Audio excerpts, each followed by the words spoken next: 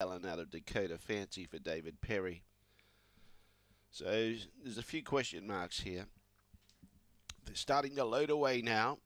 The best back, number two, Stitch and Rollo, and number nine, Emily Judge, who goes from box five. Green light on. There's no more bets. Thank you. We're set to go. Here's race three at Gawler away, beginning well with Stitch and Rollo's got the lead. Tyson's Reward chasing out after, looks a threat there. Four lengths clear of the others, getting up on the inside. Emily Judge gets the third. Around the outside with Stitch and Ragnar.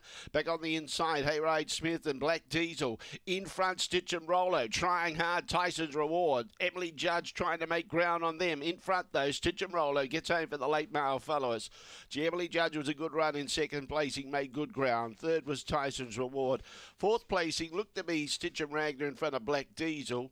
And at the tail end of the field was Hayride Smith. The time was 23.26. 2, 9, 4 and 8, the judges' numbers.